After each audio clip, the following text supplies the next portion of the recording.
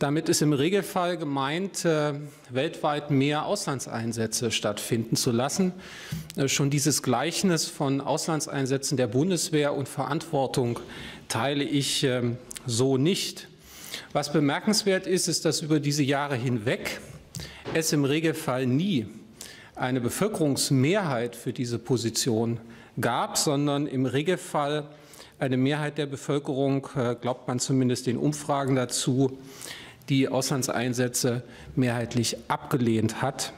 Auch aktuell ist das ja gerade wieder erhoben worden.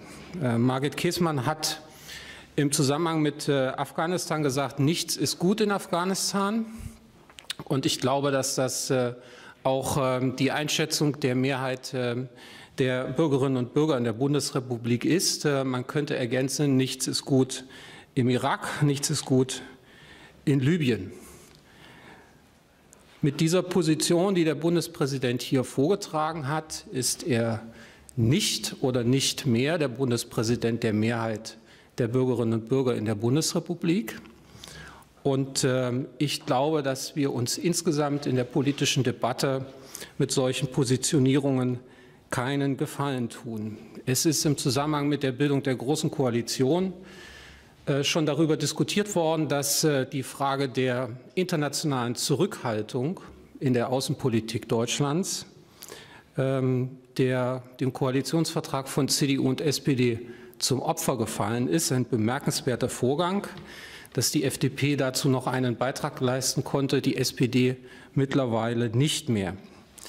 Wir werden als Linke darauf bestehen, dass die Politik der Zurückhaltung weiter Maßstab für uns ist und noch mehr als in den letzten Jahren wieder Maßstab deutscher Außenpolitik werden muss.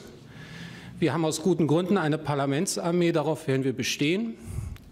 Und wir haben aus guten Gründen nicht zuletzt auch aus historischen Gründen äh, die Verpflichtung als äh, Bundesrepublik Deutschland in den internationalen Beziehungen Friedenspolitik aktiv zu gestalten und nicht mehr Verantwortung mit mehr Kriegseinsätzen zu, äh, gleichzusetzen.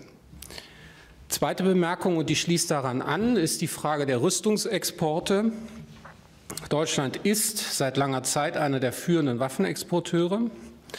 Äh, und nun sind wir äh, Zeuge eines bemerkenswerten Vorgangs geworden. Es ist noch nicht so lange her, genau gesagt äh, keine Woche her, dass der Vizekanzler Gabriel dafür geworben hat, ähm, Rüstungsexporte in Krisenregionen zurückzufahren.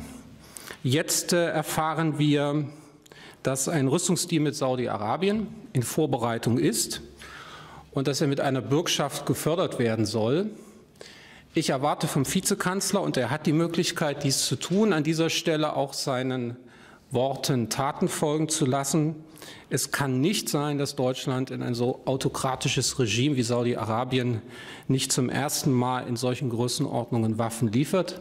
Nicht zuletzt auch, weil wir ja wissen, dass nicht zuletzt über Saudi-Arabien zum Beispiel nach Syrien Waffen gelangen und damit Teil aktueller kriegerischer Auseinandersetzungen werden.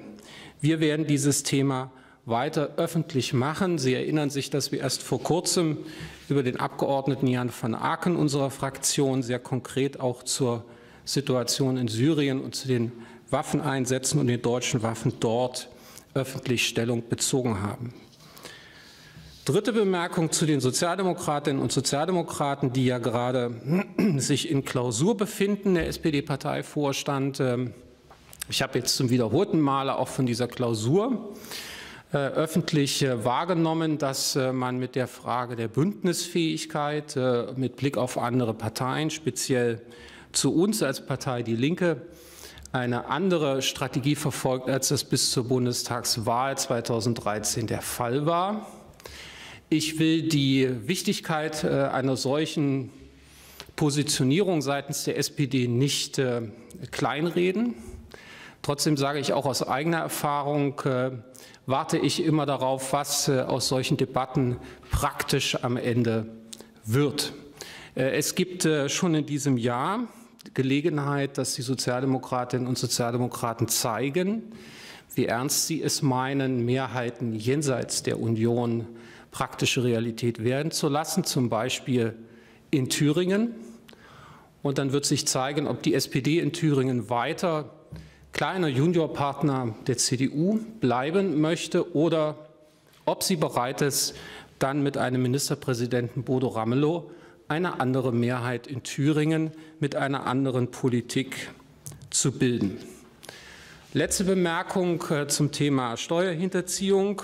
Wir haben auch äh, am vergangenen Wochenende mal wieder von prominenten Steuerhinterzieherinnen und Hinterziehern erfahren, zum Beispiel der Kulturstaatssekretär André Schmitz und die Frauenrechtlerin Alice Schwarzer. Ich will in diesem Zusammenhang ähm, darauf hinweisen, dass es eine lohnenswerte Debatte ist, ähm, ob ähm, das Instrument der strafbefreienden Selbstanzeige wirklich noch zeitgemäß ist. Es ist ein Privileg für Vermögende, sich äh, aus einer schweren Straftat mit einer solchen Selbstanzeige freizukaufen im wörtlichen Sinne.